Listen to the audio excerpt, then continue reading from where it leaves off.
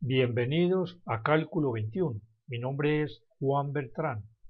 Ecuaciones diferenciales del autor Denis Gesil, séptima edición. Ejercicio 1.1.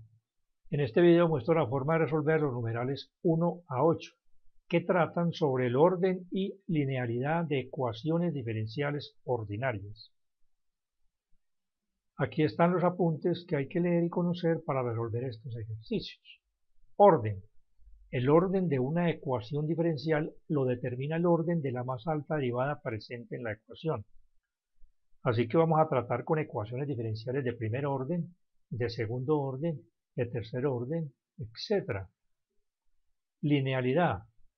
Una ecuación diferencial es lineal si presenta la siguiente forma general. Eso es, está escrita o se puede escribir de esta manera. Esta es una ecuación diferencial ordinaria de enésimo orden y aparecen todas las derivadas. La enésima derivada, la siguiente, y así sucesivamente, la segunda derivada, la primera derivada y la función. Y en el miembro derecho aparece un término escrito solamente en términos de la x los a sub n de x a sub n menos 1 de x a sub 2 de x a sub 1 de x a sub 0 de x son los coeficientes de los términos de la ecuación. Hay dos observaciones importantes sobre las ecuaciones diferenciales lineales. Primera observación. La variable dependiente y todas sus derivadas solo tienen exponente igual a 1. Además, eh, la función y sus derivadas no pueden ser argumentos de una función distinta a la lineal. Esto es, no pueden aparecer términos como coseno de y, logaritmo natural de y', etc. Segunda observación. Los coeficientes de los términos de la ecuación solo involucran a la variable independiente x, como su notación lo indica. Una ecuación diferencial que no cumple las condiciones anteriores se denomina ecuación diferencial no lineal. Yo voy a nombrar las ecuaciones en los videos de la misma manera como lo hacen en el libro de sí. Y esta es la sexta ecuación de ese libro de la sección 1.1. Ahora resolvamos los ejercicios. El enunciado dice, en los problemas 1 a 8 establezca el orden de la ecuación diferencial ordinaria dada, determine si la ecuación es lineal o no lineal, comparando con la ecuación 6, con esta ecuación. Hay otro criterio que se sigue para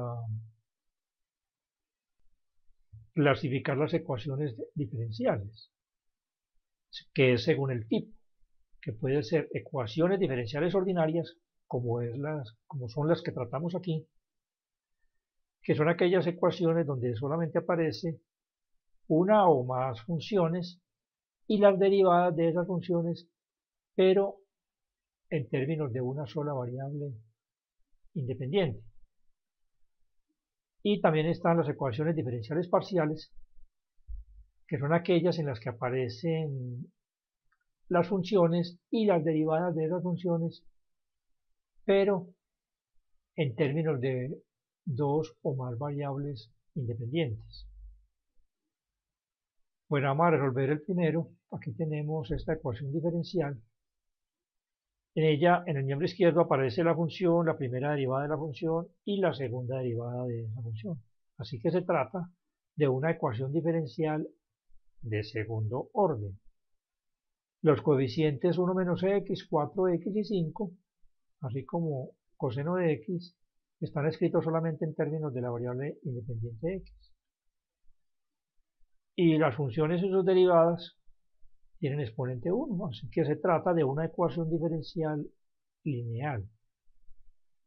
La segunda ecuación, aquí aparece en la ecuación la función y y la tercera derivada de esa función. Esto es, tenemos una ecuación diferencial ordinaria de tercer orden.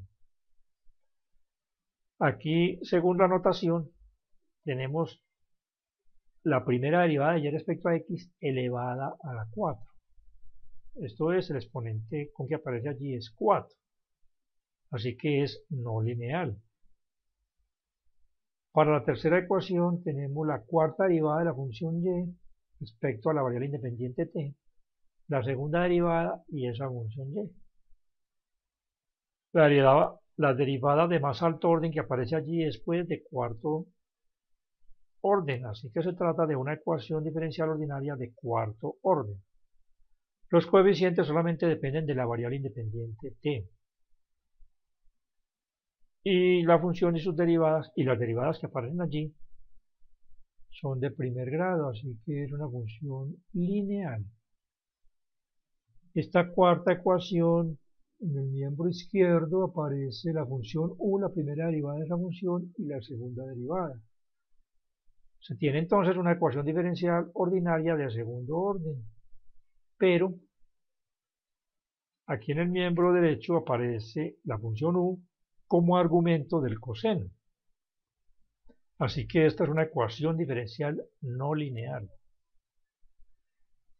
En la quinta ecuación aparece la segunda derivada de la función y. Así que se trata de una ecuación diferencial de segundo orden. Y en el miembro derecho aparece la primera derivada de esa función y, pero con exponente 2 elevada al cuadrado. Entonces es una ecuación diferencial no lineal. Ecuación 6. En el miembro izquierdo aparece la segunda derivada de la función r respecto a t, así que se trata de una ecuación diferencial ordinaria de segundo orden. En el miembro derecho aparece la función r con exponente 2 en el denominador. Así que esa función, perdón, esa ecuación es no lineal. Ecuación 7, aparece la primera derivada de la función y y la tercera derivada de esa misma función y. Así que se trata de una ecuación diferencial ordinaria de tercer orden. Los coeficientes solamente están escritos en términos de la variable independiente θ. Y las derivadas que aparecen allí de la función y tienen exponente 1. Así que se trata de una ecuación diferencial lineal. Por último, la ecuación 8. Aquí las derivadas están con la notación punto. Aquí aparece la función x la primera, ese puntico arriba indica que es la primera derivada de x respecto a la variable independiente.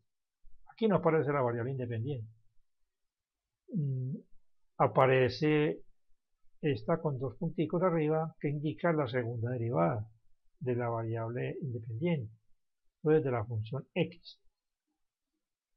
Se tiene entonces una ecuación diferencial ordinaria de segundo orden. Sin embargo, aquí en este término tenemos la primera derivada de la función con exponente 2. No es lineal. Así que esa ecuación diferencial es no lineal. Así concluye la solución de estos ejercicios. Hasta pronto y ánimo en el esfuerzo por aprender.